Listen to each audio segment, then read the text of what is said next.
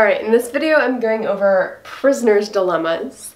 And almost anytime you see this introduced, it's introduced with this story about two culprits who are taken to separate rooms, etc., etc. I'm not going to use that story. I'm going to give you the characteristics that are common in a prisoner's dilemma, and then I'm going to give you a few more examples that are different. And I think one of the things that can be misleading about introducing with that kind of weird, unusual story is it makes it seem like the prisoner's dilemma is this unusual thing. Whereas if you recognize the pattern of a prisoner's dilemma, you'll start to see it everywhere. It's so common. My first example will be a duopoly that's trying to decide do you set your prices high and collude or do you set your prices low? Another example I'll go over is the dating friendship example, which um, is the awkward situation when two people are trying to figure out if they should be dating. So one example is when countries get together to make treaties, do they actually reduce their carbon emissions like they guarantee the other countries they would do? So this is the classic setup for a prisoner's dilemma. We have cooperate and defect are the two choices, and for now I'm going to leave those generic. Here is a classic prisoner's dilemma, and there's going to be two characteristics that all prisoner's dilemmas have both players have a dominant strategy. So what is a dominant strategy? A dominant strategy is going to be a strategy that will always be the best response no matter what choice your opponent chooses. Now, to go over what is a dominant strategy, I'd like to give context. I'd like to come up with a particular example. So we have cooperate and defect are the classic strategies. And I'm going to let this be a scenario where we have two uh, oligopoly firms, or a duopoly, and these two firms compete against each other.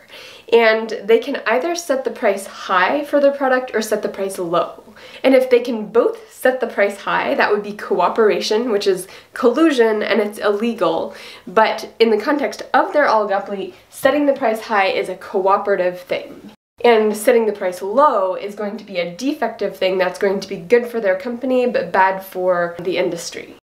Okay, so quickly, the payoffs here are if they set the price high, they split the market, half go to one firm, half go to the other firm, and the price is high, so they each get eight. If one of them sets the price high and the other sets the price low, everybody's gonna buy from the low price firm. So the firm is gonna have a huge increase in demand. In fact, the entire market's worth of demand, so they get they get more money. And the firm that has the high price is not gonna get anything, and vice versa, of course depending on which firm is setting setting the low price, that's the firm that gets all the business. Um, now, if they both set their price low, they split the market as well, but um, they make less money since the price isn't as high as it used to be.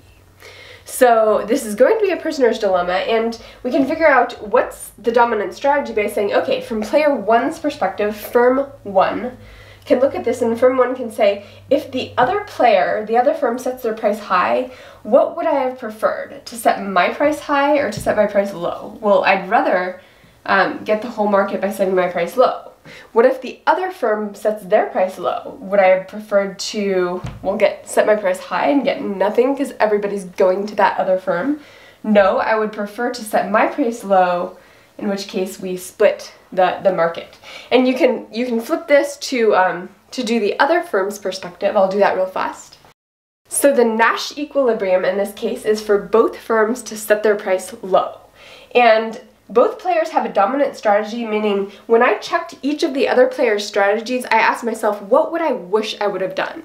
And the answer was always the same thing. You always wished you would have set your price low in response to the other firm's behavior. So the dominant strategy is low price. It's always the best response no matter what the other firm chooses.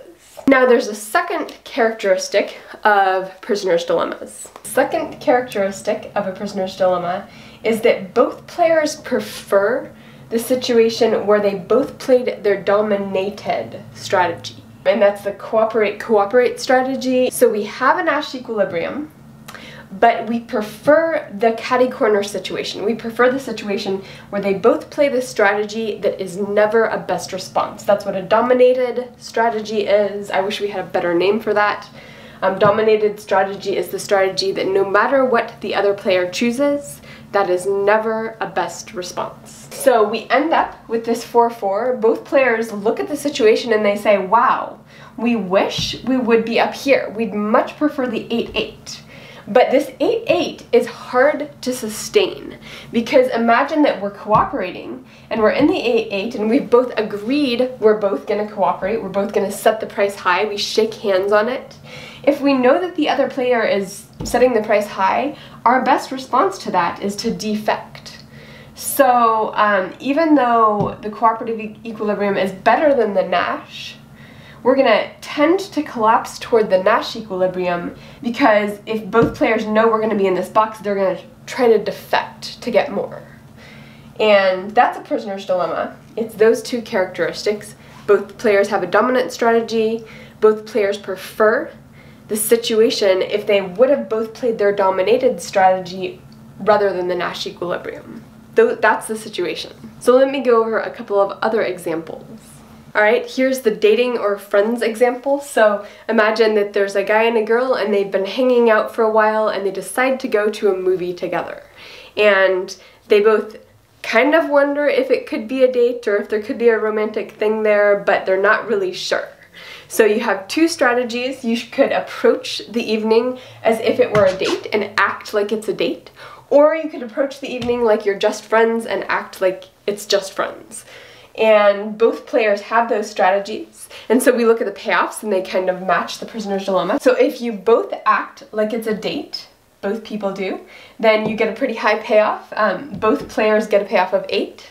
Of course, if the other player acts like it's a date and you act like it's just friends, then you, the one who acts like it's just friends, you get a high payoff because they're sort of making the first move, you feel good about it, you feel validated, you get a, a higher payoff than even if both of you took that risk. You don't have to take the risk, but you get all the benefit. But the person who acted like it's a date while the other one acted like it's just friends, they get a payoff of zero or a lower payoff because it's kind of embarrassing for them, the evening's awkward, etc., etc.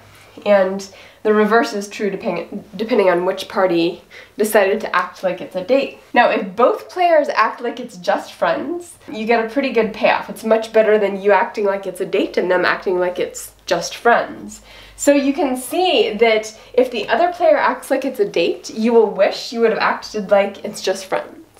If the other player acts like it's just friends, you will wish you would have acted like it's just friends. So there's a dominant strategy of acting like this is just friends.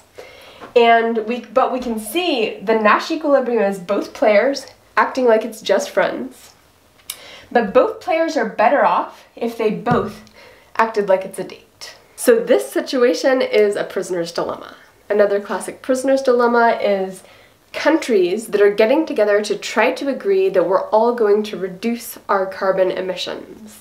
So the strategies here for each country are you can either reduce your carbon emissions or else you don't do that. You, you keep emitting and um, that might have economic benefits, but of course you're all trying to create a better world. So if, if both countries, or in this case you can have more than one player, so this could be like 100 countries or 200 countries, if all the countries reduce their carbon, the world is a great place. Everyone has a little bit lower economic output, at least in the short run. Maybe in the long run, the economic output would be higher if you reduced your carbon. But um, let's just look at, uh, say, the next 10 years or the next four years.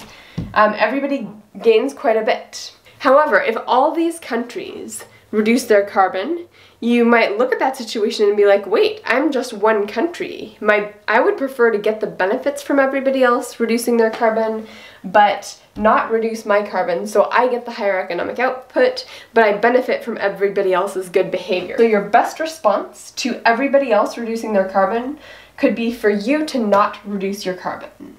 And of course, if nobody else reduces their carbon, everybody else chooses the don't option. You don't want to be the only one reducing your carbon. That, that puts you at an economic disadvantage, so your best response is for you to not reduce your carbon. And so the Nash equilibrium here is for nobody to follow through, nobody to reduce their carbon. Both players, or in this case all of the players, have a dominant strategy, but all of the players prefer the outcome where they all reduce their carbon. Um, where everybody was playing their dominated strategy. That, that's the preference, and that's why this is a prisoner's dilemma.